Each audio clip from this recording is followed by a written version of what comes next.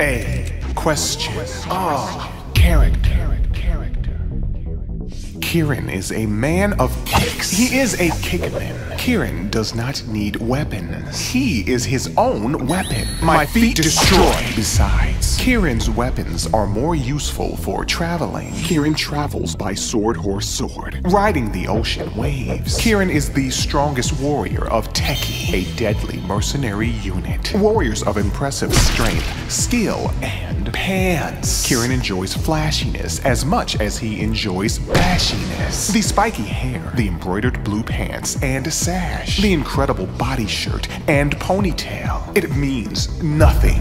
I mean, the kanji on his chest means nothing. However, Kirin's outfit means everything. It is part of his intimidation. Kirin is fearless against limousine statue women. Your butterflies are useless. Kirin's kick draws blood from his foes. Kirin's kick draws blood from machines. Kirin is summoned by the Judicial Affairs Director, Jack Layzon, who commands by toilet. With a face like this, there is no way that he's evil. But wait.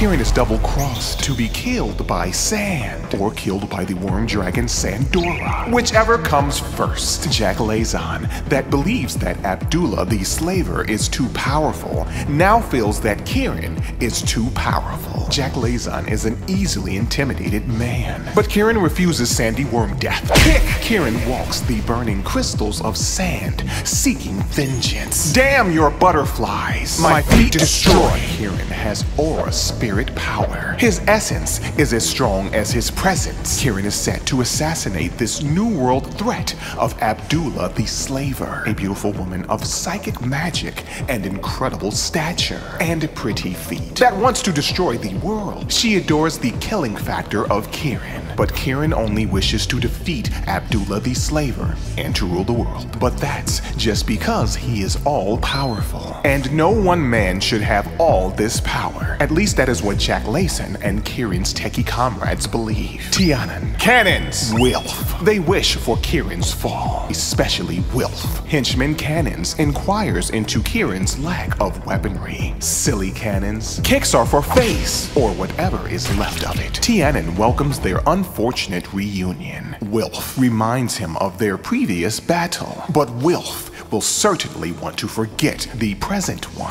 Kirin is not invincible. If Kirin fails, he implodes into an energy of nothingness, similar to the kanji on his chest. But Kirin shall return. Kirin is too powerful for death, as well as tigers. My, feet destroy. Kirin obtains power-ups through floating orbs, energy recovery, pants coloring power-ups, allowing his kick to emit a striding arc causing for more damage. The martial artistry of a strider. Kirin performs beautiful somersaults, sliding foot slices, and a punch for good measure. Kirin navigates awesomely in zero degree scenarios without vomiting. A true warrior. The speed of a master, the grip of a gripper. The pants of MC Hammer. Kirin is less a warrior and more a god. And he makes power girls cry. Power. Excellent. I forget.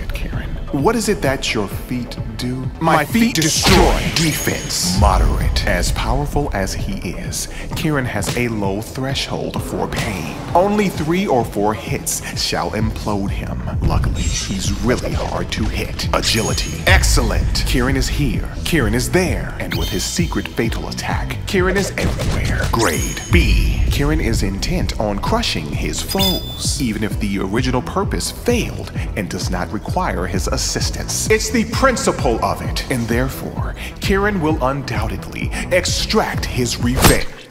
Oh, well, as long as he's hurt, my, feet destroy. Next episode. Up and at them. Quest with me. Learn with us. Enrich your mind. Empower your inquiry like our material. Subscribe to our page. Put character into question. Return every Monday for more. A question. Oh, character.